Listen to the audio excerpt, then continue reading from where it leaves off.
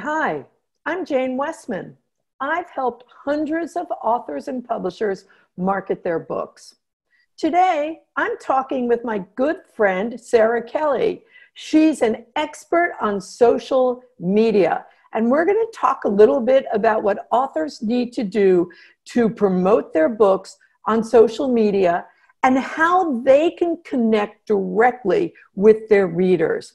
Hi, Sarah. Hi, Jane. Good to talk to you. Let's begin with a simple question. When authors are creating their social media pages, should they name the page after themselves or their book? When an author is setting up a, a social media page, uh, for example, Facebook, should it be the name of the book or should it be the author's page? It should be the author's page because that way the Facebook page can be personal um, and the author can connect to the readers. Now, I'm not saying create a personal page. I'm saying create a business page on Facebook, but but name it after the the author. I think that that's really essential. Does it matter what authors post on social media or what they talk about in interviews? Can they talk about anything? The more you go off topic, the more you move away from your message points, um, the the fewer books you're going to sell, or the fewer readers are going to get to read your book is there ever a time when it's okay to discuss topics not connected with your book? Actually, there's kind of a progression. I think as you're building your connection with your readers and as you're building your your reputation or your brand and your following, you have to be very disciplined to stick to your message points. Um, I think that as as you become more and more well known, people may want to know your opinions about other, other things.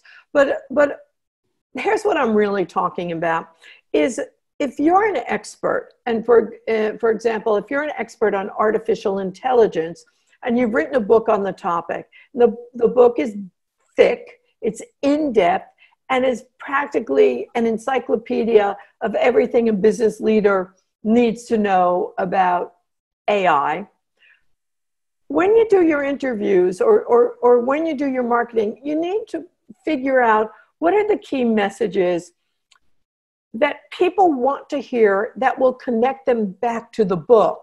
So, what are the ideas in the book that seem most relevant to your readers? And you need to stick to those ideas and try to keep coming back to them in your conversations, your rating, uh, your, your blogs, your interviews, because these are the ideas that people want to learn more about. So they want to, therefore, they will want to read your book. So instead of talking about everything that's in your book, everything about artificial intelligence, try to stick to your message points. This takes practice, it takes discipline, and it takes consistency.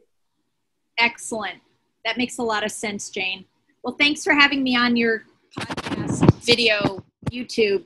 Good uh, seeing you. Bye, Sarah. Bye bye. Bye bye.